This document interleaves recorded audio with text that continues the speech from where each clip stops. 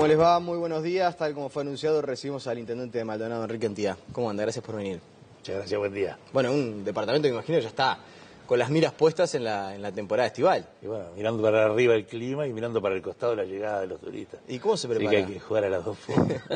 ¿Cómo se prepara? Y se está trabajando, siempre Maldonado en esta época está ah, preparándose, eh, limpiando las playas, preparando los accesos, este, barriendo las calles, este, pintando las cebras, pintando las pasarelas de madera, eh, los kioscos, armándose los kioscos, instalando las casetas salvavidas. Es decir, se nota que hay una preparación a la temporada importante y la gente expectante por las oportunidades laborales, ¿no? Que está faltando hoy y entonces la gente anotándose para trabajar, eh, buscando una oportunidad. ¿Y qué perciben los operadores en ese mm, testeo previo que se hace de las temporadas? Eh, eran bastante pesimistas, pero estos dos fines de semana últimos generaron una movida muy importante, producto de, de- de cambio político en Argentina y fin de semana largo que hubo, la coincidencia, la coincidencia de los dos, hubo una, una movida muy importante de turismo estos días y levantó el ánimo, ¿eh? que, que estaba bastante alicaído, digamos, ¿no? ¿Cómo se hace para algo que, ahora, como intendente usted no tiene demasiada incidencia, las autoridades del Ministerio de Turismo tampoco, en realidad, hablando del tema del remarque de precios, hace algunos días sería un, comparativo en el diario El Observador, como los supermercados de Maldonado ya han remarcado los precios y, los mismos productos, exactamente los mismos productos, cuestan más en Maldonado que en, el, que en Montevideo, que en el resto del país, ni que hablar. Eso fue una historia de siempre y viendo los, los- las expresiones del Ministerio de Economía, los controles de precios que se han hecho varios años, eh, siempre pasa lo mismo, ¿no? Es decir, aducen siempre un, un- un sistema de, de que mayores costos, mayor gasto de personal, tema de fletes. Eh, la verdad es que este, hay algunos mayores costos, pero no en la proporción que nosotros vemos el remar, que es una lucha que tenemos en forma permanente. ¿Y Tenemos cómo que se hace para luchar contra eso? bueno, informar a la población en primera instancia donde hay diferencias y desde la Intendencia en lo posible marcar una línea política de menores precios en todos los servicios. ¿eh? Es decir, nosotros, por ejemplo, este año eh, volvimos a tener un precio de refrescos en la playa, eh, digamos que casi tarifado, ¿no? pero en proporción al precio de, de- de- a, un, a un precio de distribución. ¿Eso fijado por la Intendencia? En la licitación, nosotros en la licitación pedimos a las empresas que fijen el precio y adjudicamos en función del precio. ¿Cuánto va a costar un refresco en la playa de Punta del Este? Y en esto, creo que en este momento 60 pesos. ¿eh? Y antes era a libertad, entonces de- según la cara del cliente, y lo que tenemos que hacer es defender al, al- al turista, que es el que va a hablar después para traer al amigo, al familiar, y los helados pasa lo mismo. Y Eso, eso nos dio mucho resultado en otra oportunidad ¿eh? y nos permitió por lo menos tener un respeto hacia el turista que se sintió cómodo. Por supuesto que no podemos fijar los precios de todos los restaurantes, pero la competencia, después la gente empieza a comparar cuánto valía un café acá, cuánto valía un café allá. ¿eh? Y, este, y, nosotros permanentemente trabajar con las ligas, con el centro comercial, con la Liga de Fomento para concientizar. ¿no? Los dirigentes de Maldonado están trabajando en eso en forma permanente porque cuando falta el turismo hay que agotar los esfuerzos para tratar de, de- de traerlo, ¿no es cierto?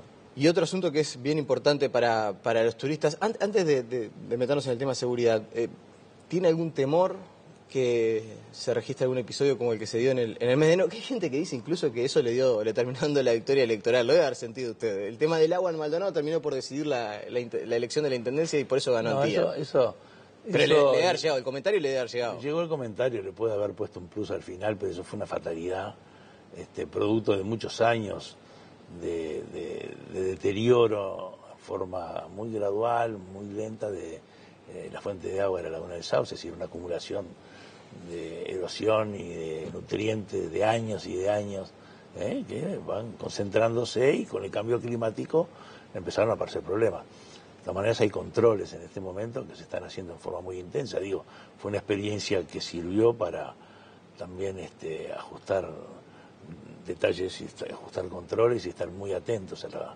O sea que está minimizado la- el riesgo de la posibilidad que ocurra. Se Puede va- volver a ocurrir. Puede pero- volver a ocurrir, depende del clima, pero se está trabajando ya para prevenir. Por ejemplo, nosotros eh, tomamos una decisión de hacer unas medidas cautelares en toda la cuenca ¿eh? y se va a controlar toda la cuenca. Con, contratamos, acabamos de contratar una consultora para hacer estudio padrón por padrón, caso por caso en toda la cuenca de Laguna del Sauce. ¿eh? Algo que no estaba en funcionamiento. ¿Y qué es lo que se va a controlar? Y se van a controlar eh, las, chacras, se van a controlar los saneamientos, las salidas de agua, las plantaciones. Es decir, la idea es tomar medidas de prevención de acuerdo a cada, a cada una de ellas, ¿no es cierto? ¿Prevención y sanción? Bueno, en, primera instancia prevención y por supuesto que habrá sanciones correspondientes, pero no me gusta hablar de sanción, sino más bien hablar de concientización y de prevención que se puede lograr, porque la gente el tema del agua y el tema de la calidad ambiental lo está comprendiendo. Otra medida que tomamos fue, ya licitamos la obra de saneamiento de la capuera. La capuera tiene 7.000 personas y todo eso eh, iba por no había no había saneamiento e iba por drenajes naturales hacia la cuenca de la laguna. Es decir, es una obra cara, es una obra importante y ya está adjudicada la empresa para empezar a trabajar. Claro, falta de ahí a que se termine el trabajo es un año, un año y medio. ¿eh? Y así tomando otras medidas. O se está tomando medidas en, el chupón del agua, en los filtros, en, la planta de agua de pan de azúcar, que también hay que modernizar porque eh, liberaba cantidades importantes de nitrógeno y fósforo porque era una planta anticuada. Y también va a la misma cuenta en la misma cuenca. Este, los productores están manejando mejor el glifosato y el tema de plantaciones. Este año ya hay menos área agrícola alrededor, ¿eh? se nota menos área agrícola en toda la cuenca. Este, y bueno, se van a tomar, decir, la gente como que está entrando recién en preocuparse en serio por el tema del agua, que es un recurso importante. Trajimos técnicos, vinieron técnicos del exterior a estudiar a estudiar eh, la cuenca, especialistas, este, está, hay un ojo permanente entre, una, entre la Universidad y la Comisión de Cuenca y técnicos especialistas de Maldonado arriba del tema. Y bueno, eh, pasó a ser tema de, de, control, digamos, y antes estaba como que era un tema que solamente dependía de Dios, ¿no? Cada vez que empieza una temporada estival, eh, el tema de la seguridad está sobre el tapete y, sobre todo tratar de minimizar los hechos de, violencia, los, los robos porque también es algo que hace y mucho a la imagen de un país y sobre todo al momento de volver a, decidir vacacionar en, un destino, ¿no? Uno puede, de acuerdo a su capacidad económica, tener más o menos respaldo para si el tipo de cambio favorece o no favorece. Ahora, si tiene miedo a la delincuencia, seguramente no, vuelva. No, y es que no hay, no hay destino si no hay seguridad. La diferencia de nuestros destinos turísticos comparados con otros no es el calorcito del agua y, tal vez no es la belleza de los morros con las playitas eh, es la seguridad, la posibilidad de vacacionar en familia, de, venir y realmente distenderse una semana, la única semana que te permite de pronto, las dos semanas que te permite el trabajo aflojar, ir con la familia, disfrutar el rato. Eh, la seguridad es básica para eso, eh, no solo para los turistas, sino además también para los que trabajan en esto, ¿no? Y el que viene a invertir también, porque decide en función si el destino tiene futuro o no tiene futuro.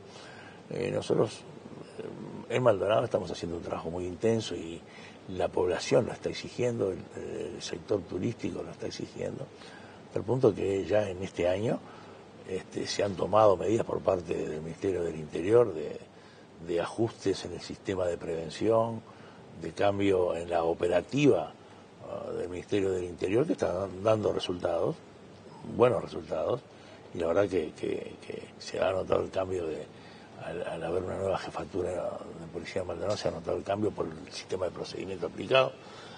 Y eh, tenemos mucha esperanza con lo que estamos conveniendo con el Ministerio. Hoy, hoy se firma un acuerdo. Hoy a las 11 en Maldonado firmamos un acuerdo con el Ministerio del Interior y el Ministerio de Defensa por un proyecto de todo el departamento, abarca todo el departamento de una inversión en cámaras de videovigilancia, un centro de monitoreo importante última, de última calidad. ¿no? ¿Cuántas cámaras se van a instalar? Y eh, estimamos que entre 1.200 y 1.500 cámaras ¿eh? en lugares estratégicos, este, como una etapa, como una primera etapa, ¿no? Seguramente. ¿Y eso ya va a estar funcionando cuándo? Y esto, tres, cuatro meses de proyecto para definir exactamente, porque no es solo la cámara, son, hay que ver toda la parte de instalación, fibra óptica, eh, adecuar eh, el local donde va a funcionar, que es en el centro Maldonado, donde hoy está el círculo policial, es un local que la Intendencia va a adecuar. Y en el año que viene, eh, va a estar va a estar instalándose, así que suponemos que para la próxima temporada, la del 2016-17, ahí vamos a tener en pleno funcionamiento el sistema. ¿Y en qué participa el Ministerio de Defensa? Eh, bueno, la costa, ¿no? Eh, prefectura. tiene 130 kilómetros de costa. Porque las cámaras pueden estar eventualmente en la playa también. Y bueno, en la playa, en los paradores de playa, en los puertos. Si hay puntos estratégicos en, todos los estacionamientos de los vehiculares de las playas. Eh, en las pasarelas de madera, es tenemos una cantidad de lugares donde hay mucha circulación de, turistas y donde es clave tener una, vigilancia, ¿no? Nos va a permitir también a nosotros, eh, a la Intendencia, este, tener un mejor control del tránsito, controlar los servicios de recolección de basura o de barrido, ¿eh? porque en un proyecto bien diseñado eh, podemos este, agregarle software diferentes que controlen, que nos ayuden a marcar la frecuencia de los ómnibus, el cumplimiento de las líneas, en fin, todo, todo, un, todo un sistema de tecnología aplicable al mejor servicio. O sea que también eventualmente esas cámaras no solamente se van a utilizar para que haya una mejor respuesta policial ante hechos de violencia, sino eventualmente, por ejemplo, ver si el camión de la basura pasó a recolectar, si... Si pasó a tiempo, si los inspectores hicieron el trabajo que tenían que hacer en tal cruce, en tal cruce de avenida, ¿no es cierto? Es decir, va a haber un control general del tránsito, de los servicios de intendencia y, un, y, un, aporte a la prevención de la seguridad, porque la clave de eso es la prevención. La clave de la cámara es la prevención, no, no, no se pone una cámara para descubrir solo al delincuente, sino que tratar de para prevenir que no que sepa que, está y... y... que está siendo vigilado y que no es tan fácil. ¿eh? Y eso creo que es un aporte importante que la Intendencia va a realizar, ¿no? ¿Cómo ha impactado en, Maldonado? Bueno, ya sabemos que es el lugar del país que más ha sentido el cimbronazo, sobre todo a nivel de la construcción, ni que hablar. Eh, Hoy tenemos 6.000 personas sin trabajo. 6.000 obreros en la, construcción. Con relación al año anterior.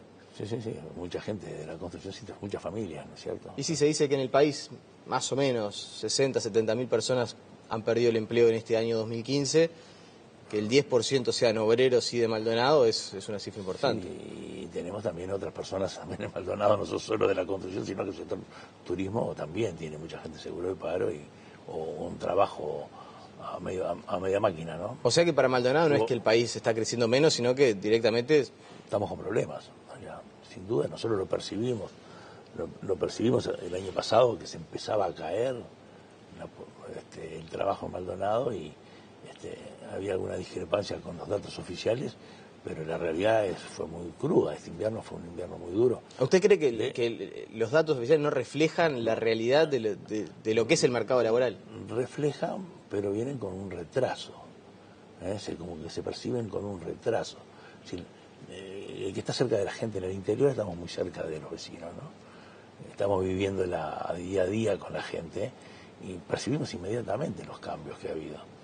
Y, este, y sin duda la cercanía del, gobierno departamental al vecino te permite percibir cosas que antes que las estadísticas te las registren.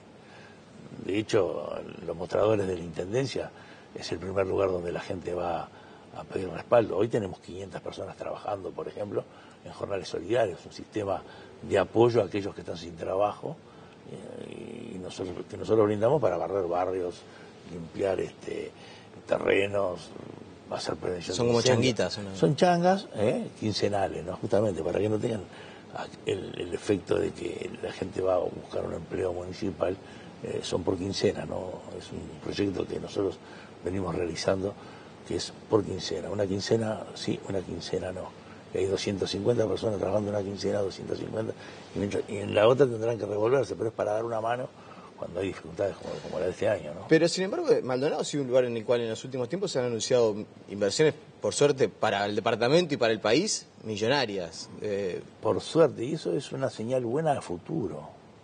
Porque... A ver, para que la gente entienda, no soluciona la situación de hoy, pero sí da una perspectiva que al mediano plazo va a levantar. Eh, es una señal buena a futuro, es decir, que, el Conrad haya resuelto invertir, eh, triplicar la cantidad de habitaciones, invertir 170 millones de dólares en, en dos una obra importante que empieza el año que viene.